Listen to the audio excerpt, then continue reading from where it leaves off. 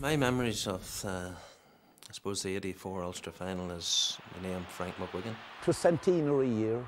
The game was being played in Clones. Munster hurling final was in Thurles the same day. Great things happening everywhere. I was in Clones, and I saw something I never saw before or since.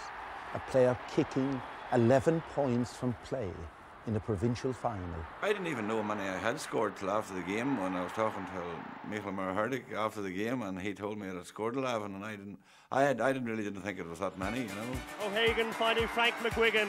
McGuigan looks up, gets sight of the posts and it's over for the first point of the match to Tyrone. This is Plunkett Donaghy. Dangerous ball inside. Frank McGuigan once more gets a push to it and sends the ball over the bar. Plunkett Donaghy to try and get Tyrone going once more. Here's McGuigan, the man who's caused so much trouble so far. And yet again he does it. We had changed a couple of players. We took Kieran McNally out of cornerback and uh, who had a bit more pace than Thomas Cassidy to see could we counteract it. Now, he did stem Frank slightly, but not that efficiently. Uh, Frank just steamrolled on and, and kept knocking him over the bar.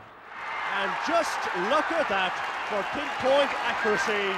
Frank had the misfortune to have a very serious car accident, and unfortunately, I, I, I think Frank only played one championship match after that, and that was um, it was very disheartening for all Gaels across Ireland to probably miss uh, the talent of Frank McGuigan for the years to come. I wouldn't think it was maybe the best game I ever played, but I the 11 points from play like was highlighted all over the country and it was an exciting time but I always maintain that it's a team sport and that, that day like it was a good team effort our half bikes and midfield were winning everything so it was getting a good supply of the ball so um, all I do was kick the ball over the bar, and I figure from 30 yards, most people shouldn't be missing. You know?